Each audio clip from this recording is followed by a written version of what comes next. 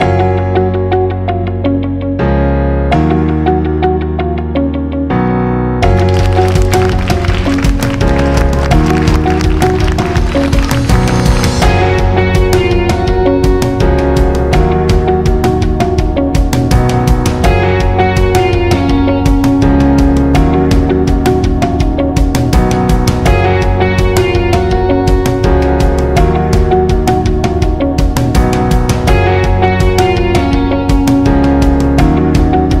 you're gonna let people know that you have a voice too, to stand up for what you really believe and what you really like. I really love the ocean since I was a little kid and like just seeing how damaged it is right now, it hurts. When I started writing poetry, I kind of did it out of, I feel this way and I want this to be heard. You just do it, put your mind to it, believe that you can, you'll come out on top.